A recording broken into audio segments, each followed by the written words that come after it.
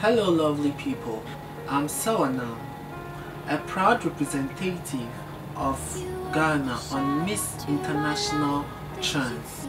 I'm welcoming you all to Ghana, my motherland, with its culture and wonderful tourist sites. Our culture, such as food we eat, akple and bobitati, what we wear, the original rich kente, which is weaved by the people of the areas and from the Ashantis, and the culture we celebrate, the Hogbetsotso Festival. Our tourist sites such as Sogakopo Lake, which is in the Volta region, which is known to be the largest artificial reservoir in the world base. And also our waterfalls, so lovely, mountains, forestry, and a lot just to mention a few. Being trans in Ghana is very challenging but we have to stand up for what we believe.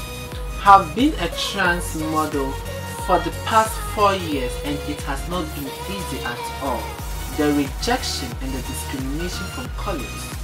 But therefore I still stand out to stand forth for what I believe in. So as a trans from Ghana, I am proud to stand out for the LGBTQ society as a representative for Miss International Trans Ghana. Thank you.